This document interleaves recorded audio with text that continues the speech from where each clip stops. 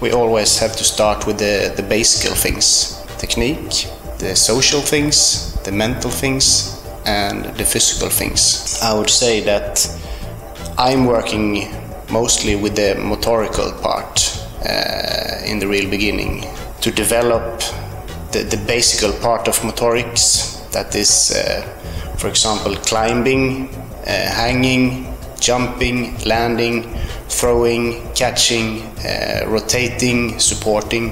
When we have players that we have, for example, in the hopes category, I think that uh, most of those players have a good basic, but we should continue to, to uh, work with those basic motorical because then it will be even more easy to uh, develop the technique in table tennis later on. Technique is not just the upper body, what you do with the upper body, it's also what you do with the lower body, how the upper body and the lower body is connected to each other. Focusing on, on uh, the first few years, uh, there should be a lot of motorical training. I try to, to think about the base, solid base in all fields, before I go for the next step. Not focus too much on result in this age. Focus more on development, development all parts of the table tennis side. Sometimes we rush too much as coaches. We focus on the fields of technical and tactical and we are playing a lot of matches and we are thinking a lot about the results to make good results very early. But I believe that we need to focus better on the basic part to make a, really, really uh, solid ground for the player and not rush too much into results. We have really good players, young good players, but they have missed out some parts of the basicals. And because of that, when they are in the junior age, cadet junior age, they are missing something to become really good players. And then it's very difficult to start over again and, and uh, work with those things that you really didn't pick up at the young age. But also one thing that, that I think is, is, is important to start to talk about in this age is that the player must get the understanding of what it takes to become really good player. Time that you have to put in for training and camps and, and uh, competitions, of course. But also, of course, the effort when it comes to the part that's inside training. Physical part, technical part, but also the mental part. One thing that maybe not everybody thinks of, the environment where you are. You can have really good coach, you can have really good venue, but if the partners, uh, the sparring isn't good enough, then of course it will be difficult to take the next step. Working with these young players, it's very important to have the, the whole spectrum of what is needed for a table tennis player when it comes to the base, what is needed, but also during the years. Going from a young player to become a top athlete, you must know what is needed. It's not for sure that you have to be an expert on all levels, but you have to, ha to have the knowledge, a quality that is, is very important when you're working with under 12. Unfortunately, I think we have the less experienced coaches working with under 12 and the more experienced coaches working with seniors. I would challenge maybe uh, a club or a country to do the opposite, to take the more experienced coaches to work with under 12 and let those less, less experienced work with the senior players instead because they are so experienced and they can take quite good care themselves. As a young coach, I was mostly observing the, the technical part and also what we call the, the feeling as a coach. Now, I think, when I do it more subjective now, I look a lot on attitude, how, how the player uh, is behaving, how he or she is, is uh, fighting, having an attitude to learn more. Also, if the player is able to really fight and if the player is really able to fight when I'm not watching him or her. Because then I will know that he or she is doing this because he or she wants to become good, not because I'm standing there. When I, I'm doing evaluation, subjective, I'm looking much more on attitude now than on the technical uh, and the motorical side.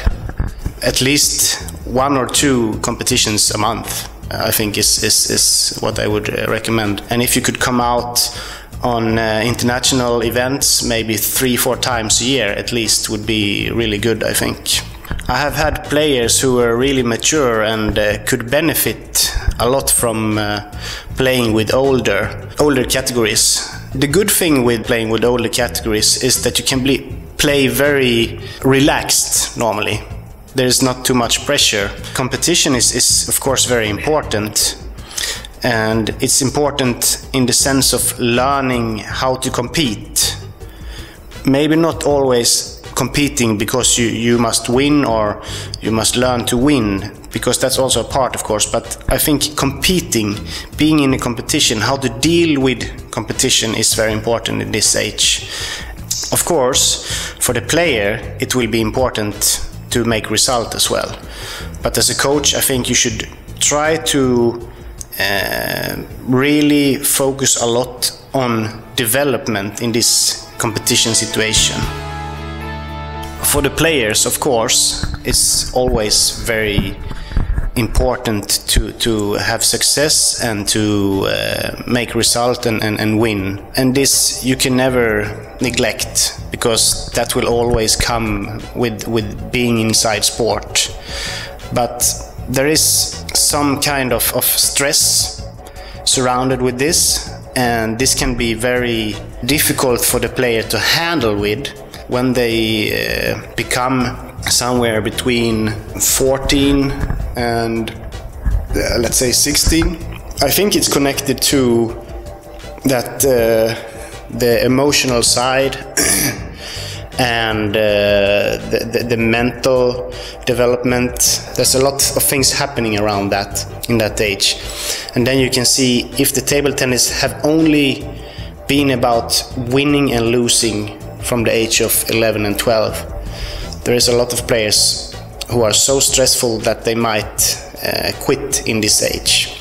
What you can do as a coach is to try to deal with the competitions, competing more that it's a part of development, becoming a good player when you're maybe 25 to 30 years of age, because that is what, what counts that is where you playing for the, the titles. And everything that is done before is done for developing uh, to become a really good player. Also to try to make parents understand that if there's only pressure about winning and losing it might be too much. And that can make the player so stressed that they will not uh, continue to play even. Being a parent is not easy uh, because you want your uh, child to su succeed, of course. My easiest advice is support, but don't make pressure. And what does that mean? Support means that you're there, you're present, you encourage, but making pressure means that you are giving maybe a lot of advice how to do things, must do things in different ways, and the player, uh, your child, is feeling that uh, winning or losing is a lot connected to you and your feelings. So as soon as the, the player feels that if he win or lose is a lot connected to your feelings, uh, it might be too much of pressure instead of support. So the player, your child must know that you love her if she wins, but also if she loses and can, can feel that. In, in table tennis, many times parents are involved in the coaching because parents are coaches. But if you are a coach and you're going to handle with parents, if we take this situation in, in, in general here, I think it's important to build up a good relation with the parents, even if it's a parent that you might think doesn't have the right attitude when it comes to, to the, the, the, the table tennis of their child. But if you can build up a relation uh, to the to the parent, if you have the parent on your side, then it will also be easier to get the player on your side.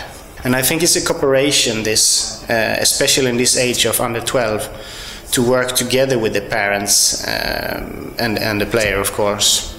That should be in the center. Be there for the player, uh, make good relation with the player and, uh, and the parent. Don't forget that you should build a solid base if you want to reach the real top if you take the narrow shortcut, you will maybe make results in the short uh, term, but you will not be able to go for the real top, unfortunately.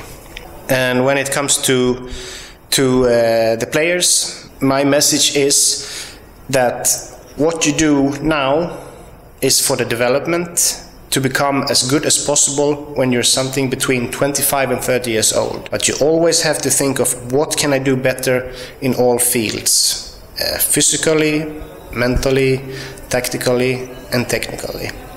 Good luck.